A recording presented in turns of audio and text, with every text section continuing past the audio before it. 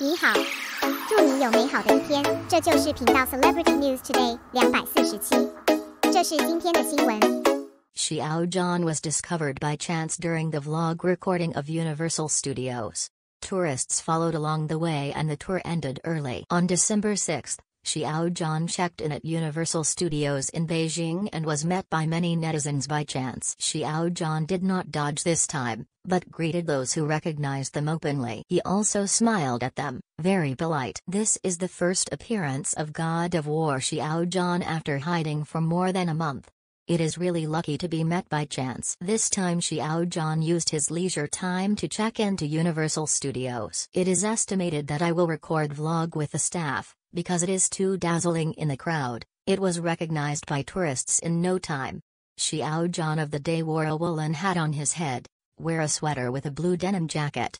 Cover yourself very tightly. Some netizens also recognize that the hat worn by Xiao Zhan was the same four years ago. He is really a nostalgic person. With a childlike heart, he played a lot of games in the studio. When Xiao Zhan stood on the railing upstairs and looked down, it happened that the mailbox visitors recognized him. He was still twisting his head happily, which melted the hearts of many fans. But after everyone recognized Xiao Zhan, many people still chased after him. For fear of causing congestion, Xiao Zhan left the studio in less than 10 minutes. In fact, in 2019, Xiao Zhan also visited Disneyland in the same way. At that time, it became popular because of Chen Qingling, but maybe he didn't have much consciousness. He went to play unsuspectingly, without a mask. He looked happy without a glance. This time Xiao Zhan and the studio appeared in Universal Studios, both holding a camera in their hands. It must be a vlog. That indicates that another good looking video is coming. People have no freedom when they become popular.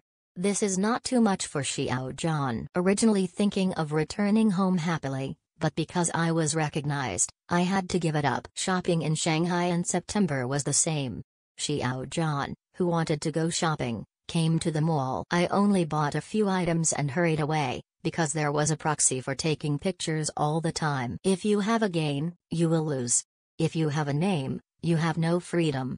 If you have a name, you have to be cautious when you talk about a girlfriend. Talking to someone for a long time, eating a meal can make people think about it.